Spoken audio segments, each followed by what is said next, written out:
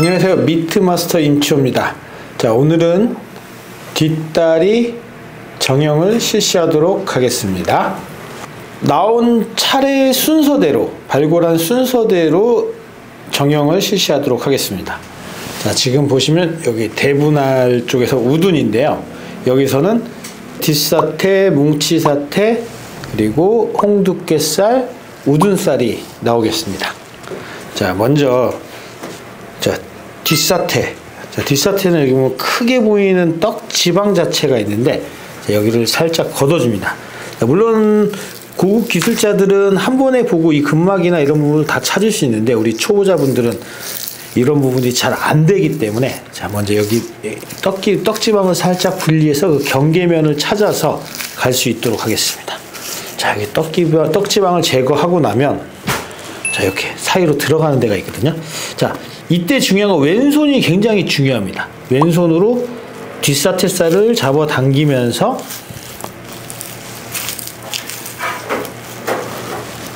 근막을 찾아줍니다. 자 보이시죠? 이렇게 근막으로 해서 왼손으로 잡아 당기면서 자 이때 중요한 칼을 이런 식으로 소심하게 쓰시면 안 돼요. 칼날 면을 전체를 다 사용해서 칼을 써야지만 고기가 쉽게 쉽게 떨어집니다. 자, 보시죠? 전체로 전체로 해서 뒷사태를 분리합니다. 자, 다음 우둔살과 홍두깨살을 분리합니다. 자, 여기 보면 근막이 분할된 부분이 보이지만 또 우리 또 초보자분들은 잘 모르시니까 여기 있는 떡지방을 살짝 걷어내 봅니다. 자, 그래서 역시 왼손으로 홍두깨살을 확실하게 제껴 옆으로 제끼면서 근막에다가 칼을 대시면 자, 보이시죠? 정확하게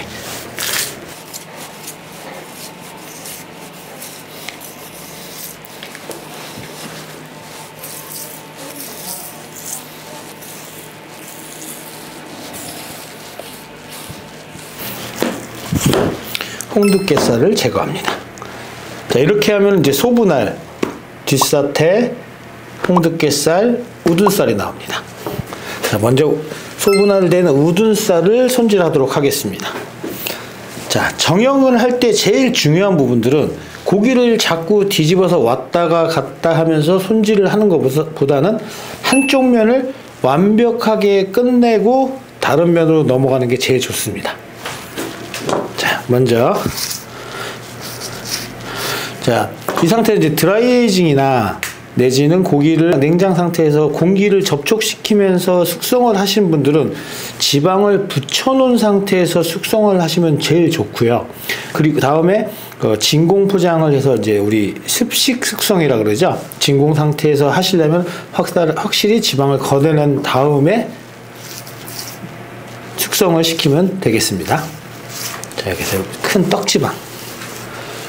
아무래도 이런 살, 살 부분에 칼이 많이 닿게 되면 어떻게 될까요? 그쵸. 갈변 현상이 금방 되, 고 고기 표면이 색깔이 많이 변합니다. 그래서 최대한, 최대한 칼 쪽, 어, 살 쪽에는 칼이 많이 닿지 않도록 떡지방 쪽을 할 때 이때 떡지방 자체도 자, 지금 보시죠. 칼을 전체를 다 써야 됩니다.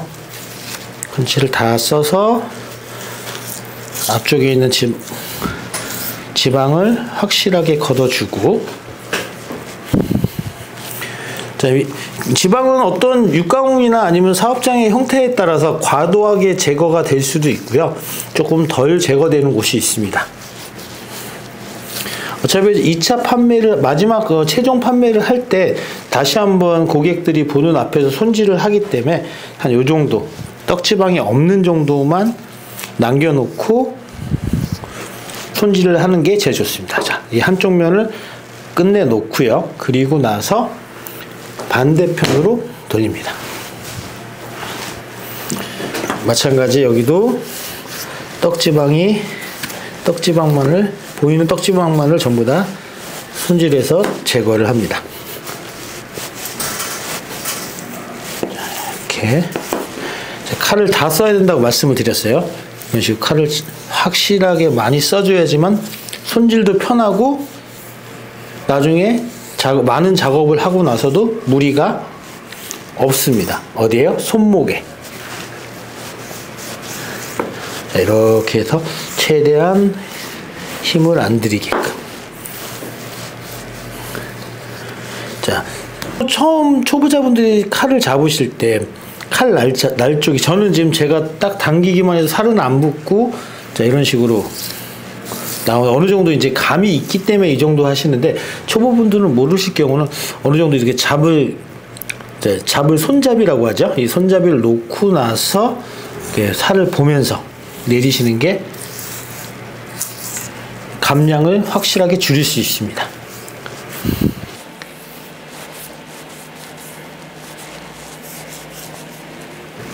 자, 그리고 이쪽도 자, 내가 손질을 할 때는 몸이 이렇게 가려고 하는 것보다 손질하는 쪽을 손질하기 편한 쪽을 내 몸 쪽으로 끌어당겨서 손질을 해야, 만 좀 더 손쉽게 그리고 자세도 불편하지 않게 손질이 가능합니다. 자, 이런 식으로 간혹 이제 이런 힘줄 부분이 나오는 부분은 지방은 제거한 상태에서 힘줄만 따로 모아둡니다.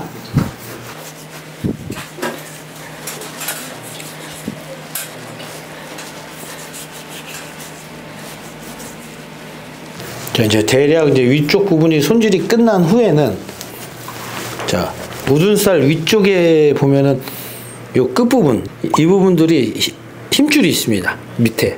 이 부분들은 힘줄 포함해서 살이 안 붙게끔 해서 최대한 걷어줍니다. 자, 하트 모양 끝쪽입니다.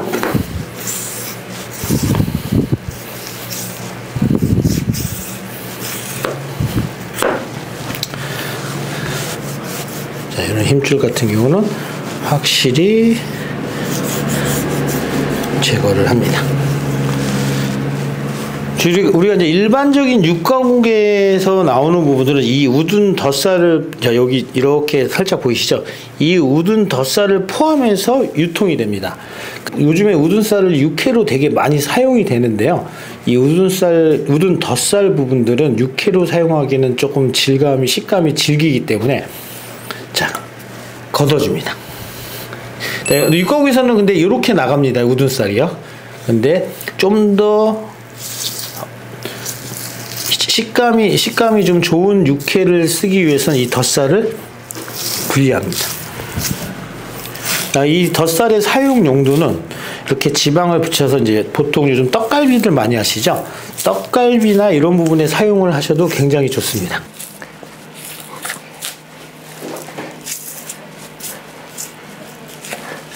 네, 이렇게 타고 가서 이제 이쪽 한번 경계면을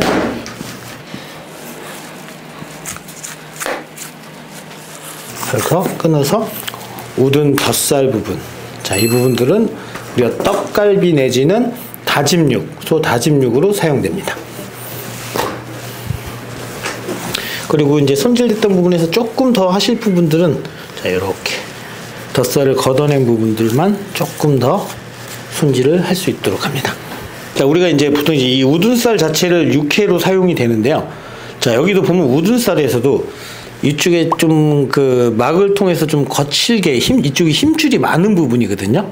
자, 이렇게 힘 눈으로 이제 직접 우둔을 보시면은 이렇게 힘줄이 많은 부분들은 육회용으로 사용하기에는 좀 거친 부분이 있습니다. 이쪽보다는 이 부분들은 육회로 사용을 하시고 요 앞에 뾰족한 보면은 내려오시다가 납작한 부분인데 이쪽은 육사심이나 이런 부분들을 사용하기에 굉장히 좋습니다. 우둔살 정형입니다. 자, 다음에는 홍두깨살 정형입니다. 저기 보시면은 그렇게 손질하기 큰클 건 없고요. 단 떡지방이 좀 많이 붙어 있거든요. 자, 바, 자, 여기는 이제 반을 놓고 아래, 쪽 그다음 반을 놓고 위쪽으로 손질하면 좋습니다. 자, 넓게 떡지방에는 자, 처음부터 우리 초보자분들은 한 번에 모르시니까 이런 식으로 살짝 걷어보면 살이 나올 때까지를 경계면을 찾습니다. 그리고 나서 살이 나오면 그 살 면적을 보고 자 칼을 어떻게 해요? 전체를 쓰면서 잡아당기듯이 잡아당기듯이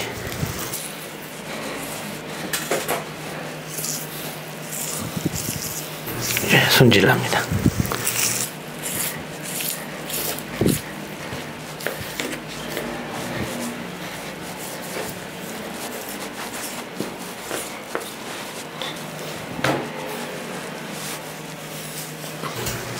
반대편도 자 칼을 바깥쪽으로 놓는 것보다는 안쪽으로 당겨야지. 왜냐하면 저희가 쓰는 칼이나 팔의 힘 자체가 이쪽으로 운동 방향이 안쪽으로 당기는 부분이 굉장히 다루기 쉽기 때문에 좀 안쪽으로 당기는 부분을 연습을 많이 하시면 좋습니다.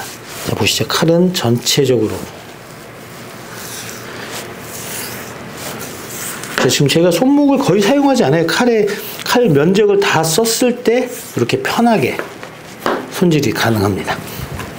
마찬가지 또 위쪽에서 잡은 부분들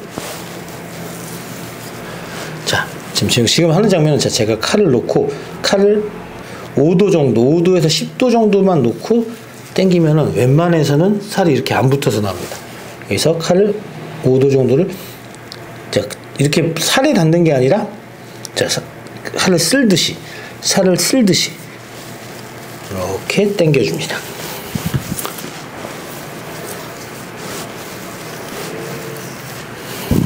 자, 보통 이제 요 정도 손질을 해주고요. 단 육회를 할 때는 이제 이런 힘줄 겉에 있는 겉막에 힘, 힘줄 있죠. 이런 부분들은 잘 사용하지 않기 때문에 이런 부분은 칼을 넣어서 이건 반대로 바깥쪽으로 살짝 밀듯이 해서 당겨서 살이 안 붙게끔 해서 손질을 하면 육회용으로 사용이 될 수 있습니다. 자, 이 홍두깨 주 사용 용도는 이제 육 육회도 가능하고요. 육사시미 내지는 요즘에 육전용으로 굉장히 각광을 받고 판매를 하고 있습니다. 자, 6%도 많이 쓰이는데 그만큼 양도 적고 적게 나오기 때문에 어, 이 부분들을 좀 대처하는 부분들은 아까 앞에 앞서 얘기했던 우둔살을 좀 사용하시면 좋을 것 같습니다. 홍두깨살 정형입니다. 자, 다음은 뒷사태 정형입니다. 자, 뒷사태도 마찬가지 한쪽 부분을 완전히 마무리해서 정형을 해주시고 반대편으로 넘어가시는데요. 자, 뒷사태에서는 자, 우리가 스지라고 하는 힘줄이 굉장히 많이 나옵니다. 그 중요한 큰 힘줄을 제거해 주시는데요. 먼저 다른 부위와 마찬가지로 자, 떡지방을 제거를 합니다.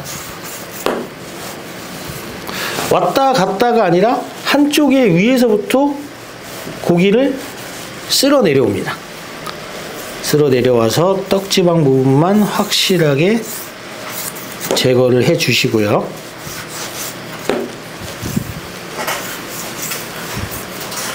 자, 이쪽 끝나고 나면 자, 요, 요 부분 요 부분에 있는 떡 지방도 확실히 제거를 합니다.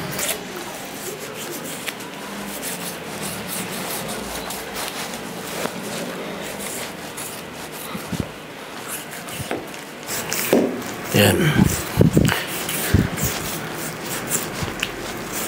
이쪽이 아까 발목이 있었던 부분이거든요.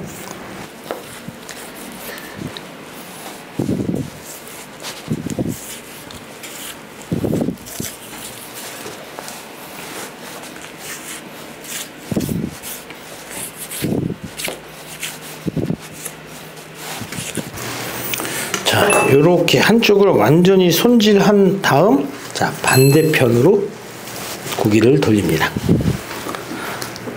그리고 여기도 마찬가지 떡지방을 먼저 손질한 후에 힘줄을 제거하도록 하겠습니다.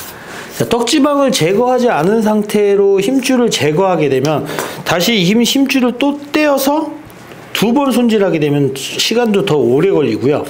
작업도 좀 더 불편해집니다. 그래서 이렇게 완전히 떡지방을 제거한 후에 힘줄을 손질해 주는 게 잘라 주는 게 훨씬 유리합니다.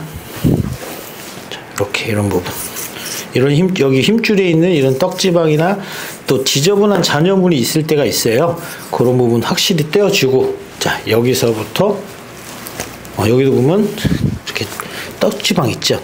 이런 지방. 이런 건 힘줄입니다. 떡지방을 확실히 제거하고 여기서도 떡지방을 확실히 제거하고 여기서도 떡지방을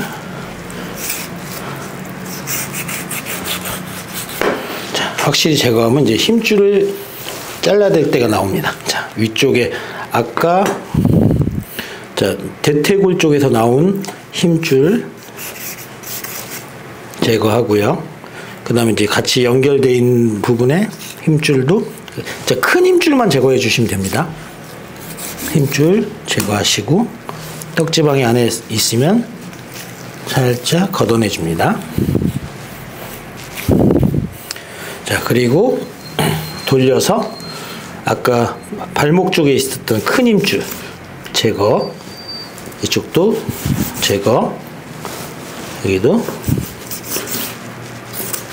제거 그리고 이 뒤쪽에서도 보이는 힘줄 자, 여기는 사태를 써야 되는 부분이기 때문에 이 큰 힘줄은 확실하게 제거를 해주는 게 좋습니다. 이쪽에 붙어 있는 힘줄 이렇게 제거를 해 주시고요.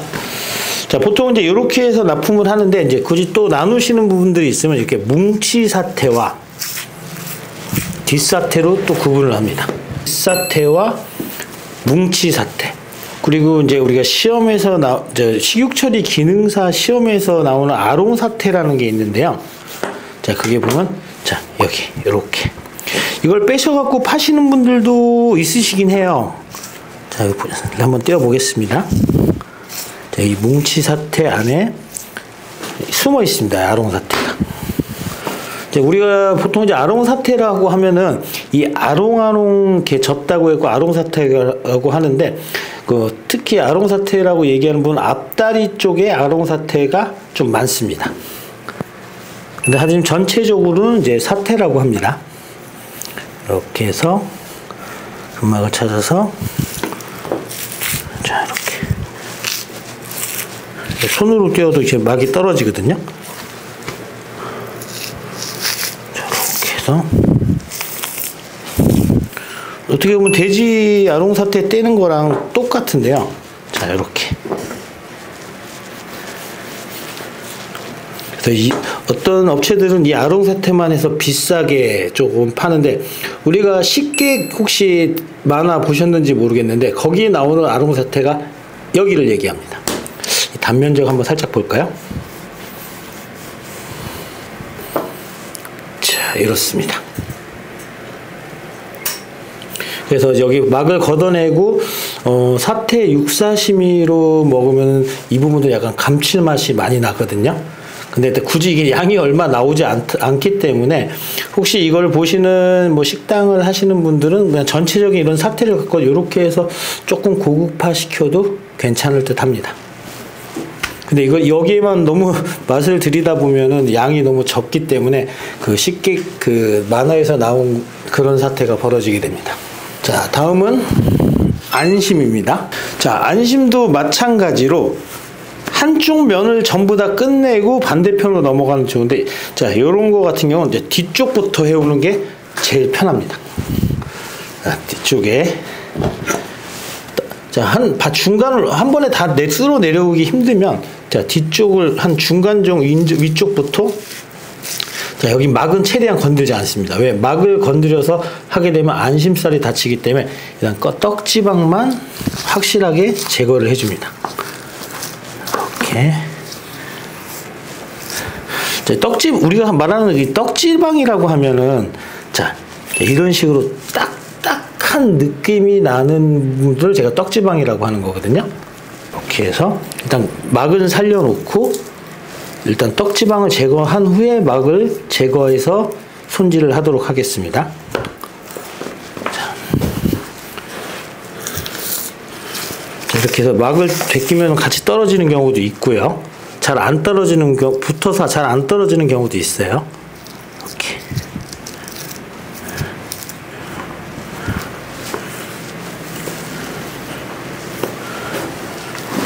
그리고 자, 항상 제가 말씀드렸듯이 고기는 제가 작업하기 편한 쪽으로 항상 돌려가면서 자 지금 칼을 이렇게 해서 편한데 이쪽으로 해서 몸이 일로 가게 되면 되게 힘들겠죠. 항상 고기를 편하게 고기를 돌립니다. 여기도 보면 떡 안심이 좀 사실 저도 제일 손질하기 싫은 부위 중에 하나인데 군데군데 사이사이에 많이 기름이 파여 들어가 있어서 손이 여러 번 가는 작업 중에 하나입니다. 자, 그리고 나서 이제 이 위쪽에 약간 덮어져 있는 살을 떼어서 같이 붙이는 경우도 있고 떨어뜨리는 경우도 있는데 제가 안쪽에는 최대한 안심은 금액이 워낙 비싸다 보니까 안에 있는 살만 확실하게 파줍니다.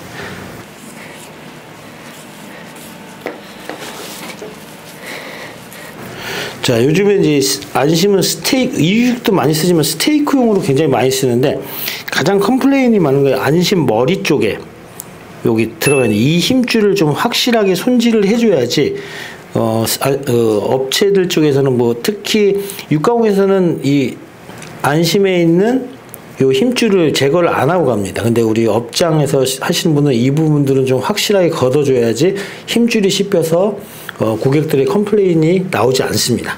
자, 이렇게 해서 이 상태로 이제 가서 이 안쪽에 파고 있는 이 힘줄 있죠? 얘를 확실하게 손질을 해주시는 것이 좋습니다. 이거 조금 아끼려다가 이 컴플레인, 힘줄 안 씹히는 컴플레인이 나오면 오히려 더 난감한 경우가 많거든요. 이렇게 해서 힘줄을 확실하게 걷어 주시고요. 자, 그래서 이 힘줄은 어디까지 걷어 주시면 좋냐?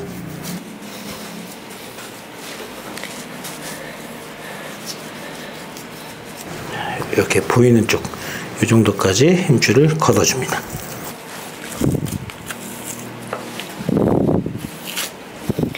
자, 이렇게 한쪽을 끝내신 후에 고기를 반대로 돌립니다.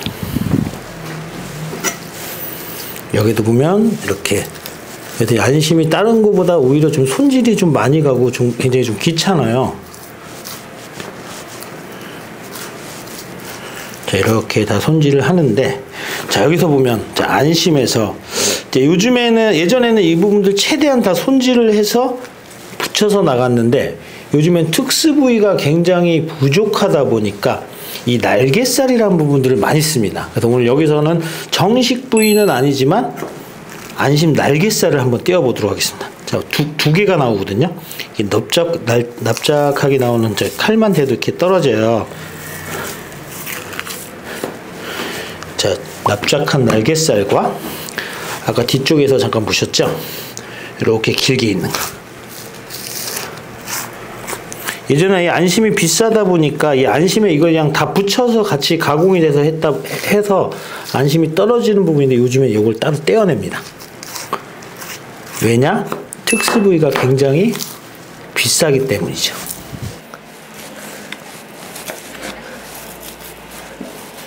자, 이렇게 두 개가 나오는데 이거 처음부터 떼내고 하면은 손질은 더 쉽습니다. 근데 이제 떼는 곳도 있고 떼지 않는 곳도 있기 때문에 저는 이제 이 부분을 떼어서 이제 특수 부위로 이제 안심 날개살을 판매를 하고 있거든요. 하다가 아까 뒤쪽에 떼어내니까 조금 더 손질할 게 나오죠. 자 여기서 조금 더 손질할 것은 이렇게 손질을 해줍니다. 그리고 나서 자 여기 있는 작게 작게 붙어 있는 부분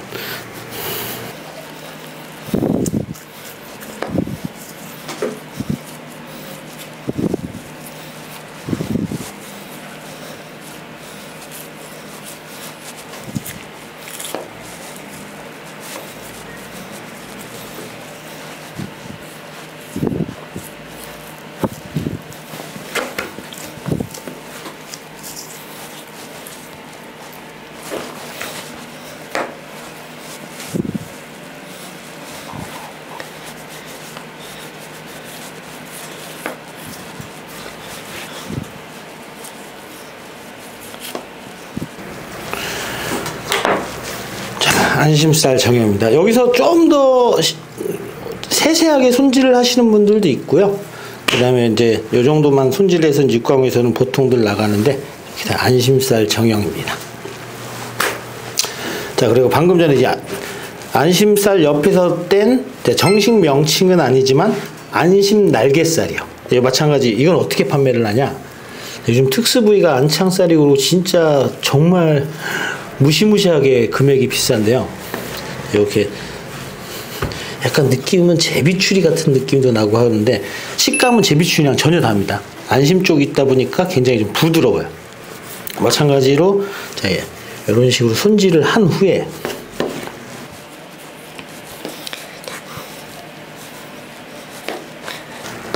자, 뒤쪽에는 또 힘줄이 있어요. 힘줄도 확실하게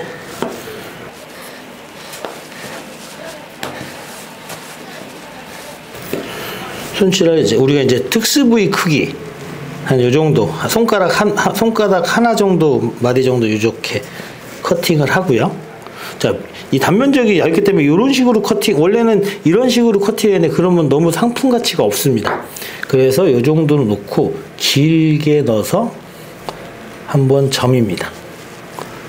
자, 그럼 약간 느낌은 자 보시면 갈비살과 같은 느낌인데 어떻죠? 모양도 일정하고 이 결은 살아 있지만 이 부분이 안심 부분이기 때문에 어, 굉장히 부드럽습니다. 그래서 이런 걸 또 안심 날개살로 많이 상품화합니다. 그리고 이렇게 넓은 부리, 자 이렇게 약간 아까 옆, 아까 이건 이제 두꺼운 부분이고 날개살인데 좀 얇게 나온 부분이 있어요. 자, 이, 이 부분들은 어때, 어떻게 진열을 하냐?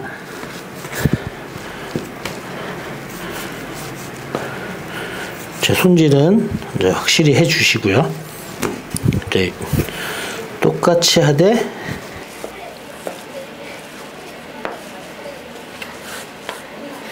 자 고기를 포를 뜨듯이 자 이 상태에서 포를 뜨듯이 넓힙니다. 자, 이런 식으로 해서 얇은 분의 날개살은 구이로 특화시킵니다. 그래서 이런 특수 부위분에 이렇게 나오는 부분들은 좀 잘 활용하시면은 어, 식당을 하신 분들은 굉장히 좀 좋고 요즘 같이 특수 부위가 비싸거나 딸렸을 때 어, 상품화 하시면은 어, 큰 도움이 되리라 생각이 듭니다.